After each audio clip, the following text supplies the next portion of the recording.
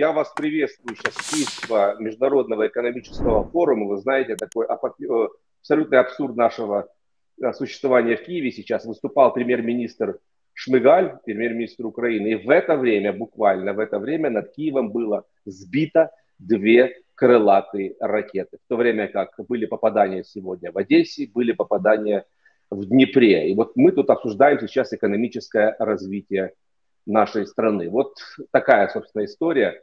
Последний раз я вас видел, э, Виктор, здесь в Киеве. Вы выступали в театре «Какого черта» с Адой Роговцевой. А, такие времена были. Я не знаю, надеетесь ли вообще когда-нибудь вернуться в Украину с этим или с другим спектаклем? Ну, с этим вряд ли, потому что Ада Роговцева, как я понимаю, э, все-таки изъяла русский репертуар из своего репертуара. И это э, печальная история как раз о русском мире, о, ну, в закавыченном русском мире, путинском русском мире, потому что Ада Роговцева э, попала в список врагов России в 2014 году, когда она ездила по госпиталям украинским на первой линии и для раненых бойцов читала, внимание, барабанная дробь, Анну Ахматову и Лесю Украинку. А, она читала на, на, на, на передовой украинским бойцам Анну Ахматову. И, но поскольку она читала и Лесю Украинку и выступала в госпиталях, ей запретили въезд в Россию. Мы играли спектакль «Какого черта?», играли на русском языке. А, а Ада Николаевна, ну, абсолютная легенда а, советских еще времен. И как раз вот такие люди, как а, Ада Роговцева, которые могут читать Олесю Украинку и Анну Ахматову на языке оригинала, это как раз и был шанс настоящего русского мира, без, без кавычек, да? русского мира, русской культуры, русской цивилизации, огромные связи, да, по, по там, двум континентам, да, огромные культурные связи, язык уважаемый и так далее. А Путин выбрал другой путь, и результатом этого пути, в частности, стало то, что сегодня Ада Николаевна э, Роговцева не, не, не читает репертуар на русском языке. Я с трудом себе представляю не то, что двухтысячный зал Октябрьский в Киеве, а какой бы то ни было уже зал э, в Киеве или в других замечательных украинских городах, где будет звучать русская речь сегодня. Это вот Путин добился, это вот путинский русский мир, значит, вытеснил русский мир Чехова, да, Анны Ахматовой, вот этот русский мир. А, вот это на культурном фронте вот такая победа Путина. Он добился своего. Он добился того, что Ада Роговцева не будет э, играть пьесы на русском языке. Ну, собственно, вы помните, что в Киеве, в центре города, есть э, на улице на Хмельницкого был вот э, русский театр Леси Украинки. Вот, там потрясающий на самом деле. Э, вот, э, даже название само, разумеется, он уже, я так понимаю, это уже поменяли. Название убрали оттуда слово «русский». Но, вы знаете, Путин и команда кричат сейчас о том, что это cancel culture, вот нас канцелуют и так далее. А, абсолютно при этом а, причину и следственную связь, как всегда, затирают, они не видят, почему это происходит. И тем не менее мы видим опять этот э, монументопад, который сейчас происходит э, по Украине, все снимают памятники, вот Екатерина II, э, памятники Пушкину по всей стране скидывают. Там, где вы находитесь, собственно, при, при, в балтийских странах, снимают памятники советским солдатам и так далее. Вот, э, есть ли вообще какая-то сейчас у вас ну, эмоция по этому поводу, и возможно ли в, в, этой, в этой ситуации поднимать голос в защиту этих памятников? Поднимать голос возможно, но мне кажется, это довольно странным и бестактным занятием. В момент ракетных ударов по Киеву скорбеть по бюсту Пушкина. Пушкина не убудет. Не убудет Чехова, э, да, с, с Ялтой, не убудет, э, там, не убудет Анны Ахматовой, не убудет Достоевского, Толстого, их никого, Булгакова не убудет. Булгакову все равно. Э, мне кажется, это не не пойдет на пользу Украине, но э, я полагаю, что украинцы сами когда-нибудь, когда сойдет острая боль, когда кровь отхлынет от глаз, э, украинцы сами в, в украинском обществе, я думаю, найдутся люди, которые скажут, э, Булгаков-то вам чем виноват, Пушкин-то вам чем виноват. Екатерина, может быть, другое дело, да? С Екатериной отдельный разговор. А вот с Чеховым, э, Пушкиным и Булгаковым, я думаю, что украинцы своими силами решат этот вопрос когда-нибудь. Я знаю, что будет кому об этом поговорить, но в мирное время, конечно. Сегодня э, россияне ну, довольно бестактно об этом разговаривать. Повторяю, гибнут живые люди каждый день. И скорбеть о куске снятой меди, да, или таблички, или запертой двери, как-то странно. Повторяю, это вопрос будущего. И э, скорость, с которой Украина вернется к реабилитации Булгакова, Пушкина, э, Чехова и так далее, э, срок очень зависит от, собственно говоря, поведения россиян. Абсолютно чистая аналогия с э, Германией, с немцами 40-х. «Ночь в Лиссабоне» ремарка сейчас самый актуальный, один из самых актуальных текстов. Когда человека да. ненавидят и презирают по факту его немецкого происхождения, и никому, в общем, дела нет до того, ремарка это или Геббельс, да, это уже ты немец, и ты заслуживаешь, да, пощечины. А, работа немецкого народа в течение 30 лет послевоенных дала возможность немецкому языку выйти из этого проклятия, да, и немецкой культуре. Сегодняшний Берлин Э, если есть загробная жизнь, то я желал бы, чтобы Гитлер увидел сегодняшний Берлин. Это было бы ему самым страшным наказанием. Сегодняшний свободный космополитичный Берлин. Я надеюсь, что у русской цивилизации будет шанс исторический э, поправиться, исправиться, сделать работу над ошибками. На прошлом витке в 91 году, 92 году мы не сделали работу над ошибками, и поэтому наш трагический кровавый 20 век – продолжается в 21 веке. Друзья, вы смотрите нашу беседу с писателем Виктором Шендеровичем. Пожалуйста, поставьте свои лайки, поделитесь видео своими друзьями, помогает поднять его в рейтинге. А, Виктор, возвращаясь к важным событиям начала этой недели, а, вот а, Андрей Зубов, российский историк, вот характеризовал это как такой разворот Лаврова. Сначала у нас был разворот Примакова над Атлантикой, если помните, в свое время, да, после этого последовала Мюнхенская речь Путина, после этого война в Грузии, аннексия Крыма, война без правил в Сирии, я цитирую сейчас Зубова, перефразирую его, ну и, разумеется, а, страшная гуманитарная война против Украины, которая началась еще в 2014 году, и вот разворот Лаврова на Бали. А, посланец Путина ехал на встречу G20, судя по всему, ничего не добился. Мало того, во второй день его прибытия, когда он уже улетал, в это время Путин разразился рекордным количеством ракет над территорией Украины вообще. А как, как вы оцениваете э, вот целесообразность этого? Ну, в системе когда Путина он же, наверное, поступал рационально. В системе его, в системе координат рационально, и это, безусловно, связанные явления. А, Лаврову надавали пощечин предсказуемых, именно поэтому э, Путин не полетел на эту двадцатку, чтобы эти пощечины не достались уже лично ему. Ему надавали пощечин, вполне предсказуемо, я не знаю, на что они рассчитывали. А, спиной Украины о чем-то договориться без Украины. А, было ясно, что этого было, более того, это было артикулировано, что этого не будет. Поэтому, ну, на что рассчитывали, не очень понятно, но тем не менее, а, срыв миссии Лаврова предсказуемо закончился местью Путина. Это его способ разговора. Это он говорит вам, вы не хотите со мной разговаривать Западу. Ну и Украина. Украине. Вы не хотите со мной разговаривать так, я буду разговаривать с вами так. Это логика шантажиста, это логика ракетира. Собственно говоря, в этой логике он давно уже существует.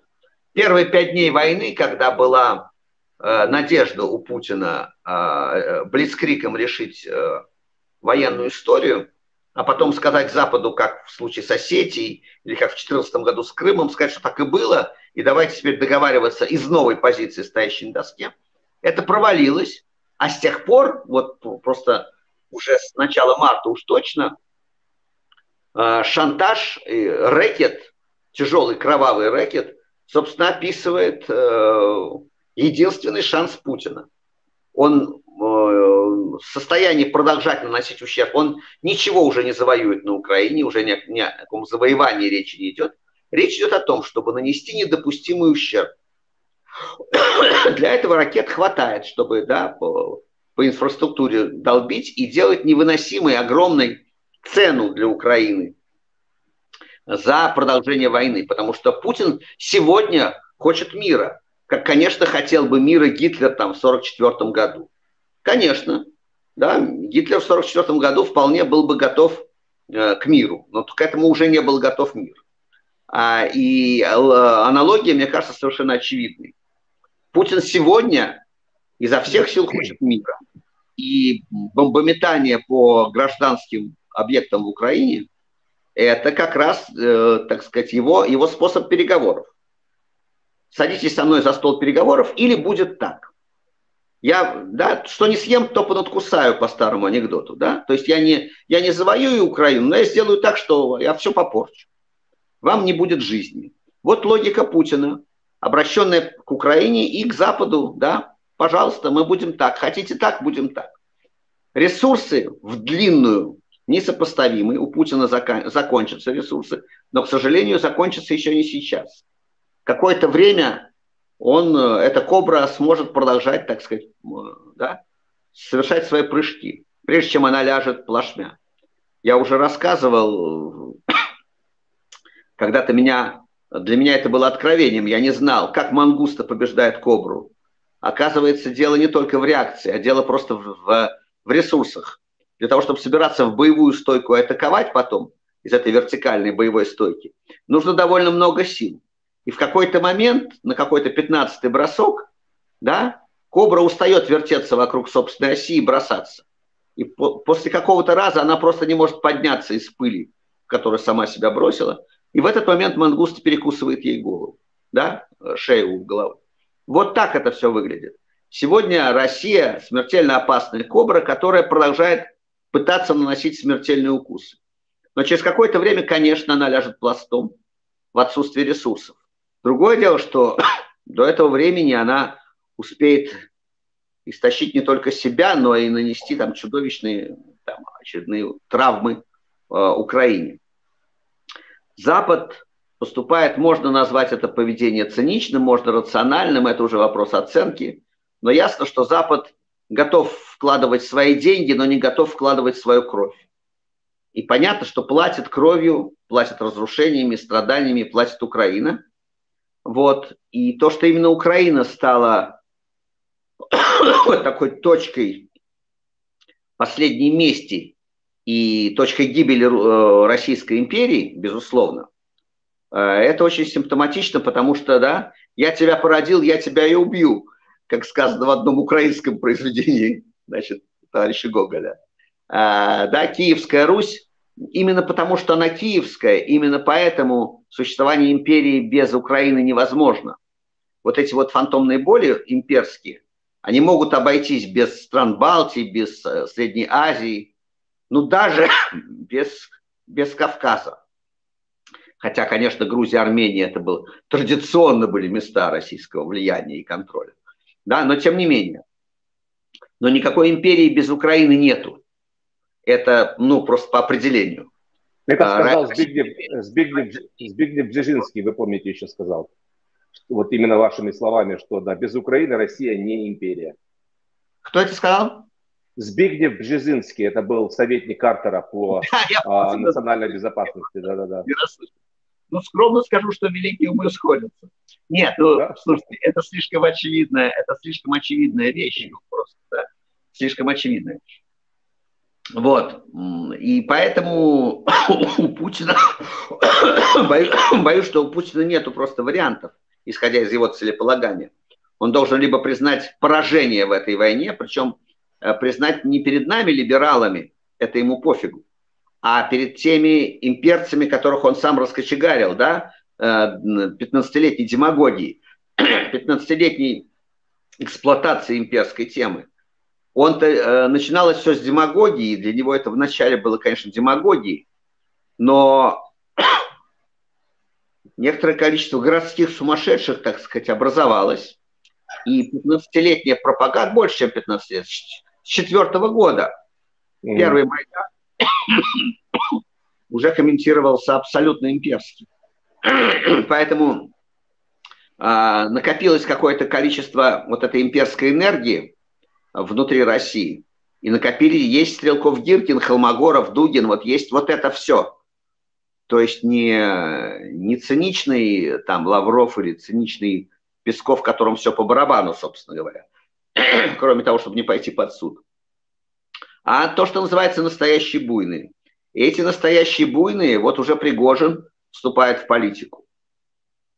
Да, уголовники, то есть на смену циникам идут просто такие да. уже уголовники-убийцы. Виктор, и... вот с вашего позволения про, про Пригожина вот как раз отдельно поговорим, про это вот гумилевщину эту, да, и пассионарность, э, которую мы сейчас в их лице видим, возможно. Но вот возвращаясь к теме э, вот этого террора, который сейчас, собственно, перекинулся и на территорию стран НАТО. Вот, разумеется, речь сейчас идет об этой ракете. 15 ноября польские СМИ сообщили о падении двух ракет в селе Шедову в Люблинском воеводстве на границе с Украиной. Вот история была мутная, но, судя по всему, сейчас э, те же американцы говорят, что это была сбит, это была э, э, украинская ракета э, ПВО, которая сбивала, собственно, российские ракеты. И вот такой, знаете, непонятная серая зона, с одной стороны, э, Столтенберг и генсек НАТО и Шольц, э, канцлер немецкий, говорят, что все равно ответственность лежит на России, разумеется, потому что она развязала войну. А турет, э, президент Турции Реджеп Таип Эрдоган, вот знаете, вздыхает а, с облегчением. Ну, нам главное знать, что это не Россия, это очень важно. Хотя понятно, что это абсолютно циничный подход, абсолютно циничный подход. Точно так же, как циничный подход тот факт, что, ну, э, если это случайно, все нормально, вы там бомбите за, вот как вы сказали, знаете, бомбите там, мы готовы помогать Украине как можем, но только не нашей собственной кровью. Это вот пусть украинцы за нас продолжают собственно, умирать. И вот сейчас уже многие это, наверное, смотрят как такая проверка на вшивость. Тут же можно, Виктор, предположить, что, допустим, э, это было не намеренно российская ракета, но э, ситуация была достаточно намеренная. То есть ракеты летают близко. И, может быть, и расчет, собственно, был с тем, что украинская ракета будет сбивать, не попадет, и вот тут будет проверка НАТО на вшивость. Вот на ваш взгляд, э, НАТО прошло эту проверку? А, на знаете что? Конечно, это не была никакая проверка. Это просто война диктует свои правила. А, ракете или противоракете летящей сбивать, да, им совершенно все равно, где там по карте проходят государственные границы. Логика войны, война всегда перехлестывает любые расчеты. Я уже говорил, э, что это как в несколько, несколько бильярдистов, вооружившись киями, начнут шарашить по шарам на столе. Да? Каждый будет иметь в виду какой-то свой шар и какую-то свою комбинацию, но в итоге создастся позиция, которую не хотел ни один из игроков, разумеется. Война, она не, не учитывает таких чистых геометрических желаний. Что-то прилетает, да, не туда, куда летело и так далее. Казус Белев найдется всегда. То, что э, Запад с облегчением выдохнул по поводу того, что это была не, э, не, не российская ракета, Разумеется, ни, никаких нравственных, моральных оценок, э, разумеется, это изменить не может, потому что Россия развязала эту войну, и все последствия, да, за все последствия отвечает именно Россия. Это, извините, как э, в 1944 году войскам союзников или войскам советским предъявлять э, там какие-то счеты за, за разрушение на территории Германии. Ну, слушайте, идет война которую начала Германия. Она должна закончить ее в поражении. Разумеется, Запад выдохнул с облегчением. Вчера, когда выяснилось, что это была украинская противоракета. Но оценок происходящего, конечно, русская, русская пропаганда немедленно целый день об этом говорила и так далее. А, и хихикала по поводу того, что вот украинская ракета ударила по Польше. Но это такие мелкие радости русской пропаганды ничего существенного, не, ничего поменяться в раскладе, в том числе в нравственном раскладе, тут не может. Ну вот, знаете, вот э, Александр Баунов из Карнеги центра заметил, что вот сейчас э, у Польши появился свой Белгород. А, понимаете, да, о чем тут речь? Тут еще отсылка идет к э, вот взвыванию а, Медведева по поводу что, того, что Россия, европейцам не удастся отсидеться в своих тепленьких квартирах. Это было написано до того, как была стала известна чья это ракета. Собственно, тогда была вот первоначальная история, что это была российская ракета. Вот он пишет, что вот э, их Белгород у этого конфликта появляются новые участники и новые территории. И вот э, что также преднамеренность, э, непреднамеренность следует за намерением, многократно высказанным в виде угроз, а значит не вполне является таковой. То есть это общий такой контекст. Ну и вот он пишет, Баунов, что отсутствие какой-либо реакции на требования пострадавшего в ситуации войны союзника грозит потерей авторитета. Виктор, знаете, что я вам скажу? Что мне кажется, что если бы это была вот доказана абсолютно российская ракета, а, я думаю, что серьезно бы ситуация не отличалась. Мы бы не увидели разумеется, никаких ударов в ответ. Мы бы увидели просто высказывание очередной беспокойности. Возможно, Украине дали бы еще какую-то анти, э, противовоздушную систему обороны и несколько санкций там против каких-то лиц в России, которые ничего абсолютно не значат сами по себе эти санкции. Мне так кажется. Я, понимаете, Запад понять можно. Стратегия Запада, ну мы о ней уже даже сегодня говорили. Стратегия Запада совершенно очевидная. Это именно стратегия в длинную значит, э, поскольку если бы не было ядерного оружия, то фамилия Путина была бы Каддафи или генерал Нарьега или Милошевич. Это понятно, что это все. Эта война продлилась бы месяц максимум. А, это, это понятно. Но поскольку у России есть ядерное оружие, и Западу не хочется проверять степень невменяемости Путина, он ее достаточно уже проверил, и Путин убедил в том, что дедушка старенький, ему все равно, а, во многом он убедил, перейдя пару красных линий в этом году. Ну, одну, по крайней мере, да? Ведь мы, я за неделю до войны там в одном украинском эфире тоже предполагал, что войны не будет. И вместе со мной это предполагали очень многие эксперты. А, поэтому Запад, да, новая стратегия, военная стратегия совершенно очевидна. А, это на, стратегия на истощение России. Э, Россия, да, на, на то, чтобы Россия на эту войну, э, так сказать, истратила последние свои силы. Технологий новых не будет, экономика расти не будет. Через какое-то время Россия ляжет пластом или начнутся социальные какие-то там проблемы. Но другое дело, что это, повторяю, это вопрос не дней, а и не недель, а месяцев и лет. Когда это произойдет, я не экономист, я не знаю, но думаю, что еще на год войны на истощение, причем на истощение самой России в том числе, а, так сказать, России хватит. А западной экономике, разумеется, хватит на, а, на и до оружия, до поставку оружия, и на ну, санкционные усилия. Ясно, что Россия изгой, и что по периметру будут арестовывать, что репарации неизбежны. В этом смысле, мне кажется, что, как ни странно это звучит сегодня, но я это говорил в первые дни войны еще, э, Украина, несомненно, в перспективе выйдет из этой войны победителем. У нее будут очень трудные времена, и дальше будут трудные времена. Но в исторической перспективе Украина уцелела как государство, более того, укрепилась как государство – и она, это, Украина сегодня гораздо более крепкое государство, чем было до войны. И Зеленский, который был слабым, противоречивым президентом, да, и вполне там выглядел двусмысленно, он сегодня по-настоящему, без кавычек, герой мира, да, и человек мира. И Украина именно сегодня, именно после начала войны, окончательно э, тема восточных территорий, западных территорий, да, конфликта внутреннего разрыва между Донбассом и Львовом, там, да, между Ужгородом условным, да, и там э, бывшими ну, традиционными там восточными территориями. Э, Все это ушло в прошлое. Украина осознала себя как нация вполне. Не без помощи Путина она укрепит это ощущение. И да, ценой людей жалко, судьбы жалко человеческие. Но Украина как государство конечно, выйдет из этой истории уцелевший, сильный, входящий в э, Европу, партнером мира, и будут очереди инвесторов потом на восстановление Киева, Львова, да, Одессы. Очереди будут стоять на вложения, миллиардные вложения в восстановление Украины. На это, на эти, на это восстановление уйдет, а, уйдут остатки российского бюджета послевоенного, разумеется, да, по репарации. Это, э, поэтому в перспективе э, с Украиной все будет хорошо, в перспективе. А вот с Россией именно что в перспективе все будет хуже и хуже, потому что по понятным причинам. чем дольше будет продолжаться война, тем больше будет плата, не только материальная, плата именно России за этот кошмар.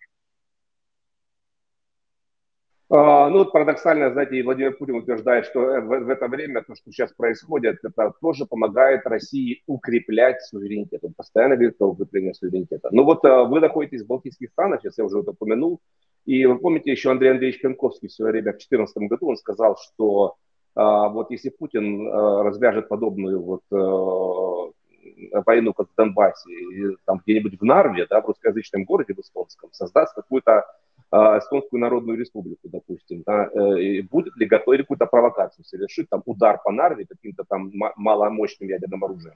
Готов ли будет НАТО защитить своего же члена согласно пятой главе Конституции? Но это вопрос к тому, насколько, какое сейчас настроение в этих странах, вы там находитесь, они видят то, что происходит, то, что происходит сейчас в Польше, они уверены в том, что они под зонтиком НАТО, и у них все будет нормально.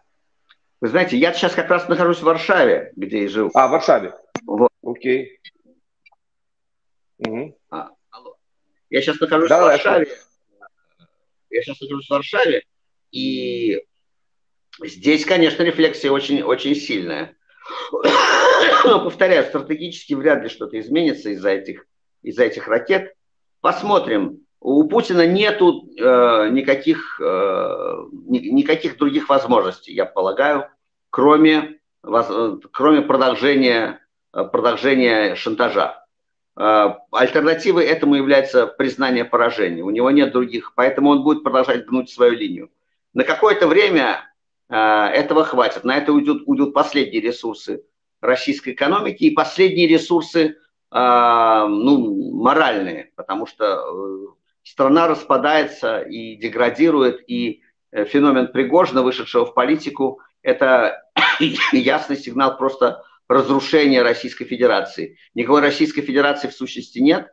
Это просто гуляй-поле, это малина, где э, в разных частях этой малины рулят бандиты в большом диапазоне от Кадырова до Пригожина. Я знаю, что, собственно, вы были даже, на вас был иск год назад за то, что вы назвали убийцей и уголовником, то есть у вас даже есть какая-то совместная с ним а, история. И вот а, сейчас, знаете, Институт изучения войны, в числе прочих источников, пишет, что а, Пригожин сейчас, вот он включил эту антиэлитную риторику, чуть ли не такую анти знаете, то есть против богатых людей направленную, и пытается сейчас создать некую, может быть, даже политическую силу, на себя перебрать вот электорат, который традиционно поддерживает Владимира Жириновского. Вот как вы видите эту фигуру в этом контексте сейчас? Насколько он может быть независимой политической силой, или все же это сугубо путинский а, проект?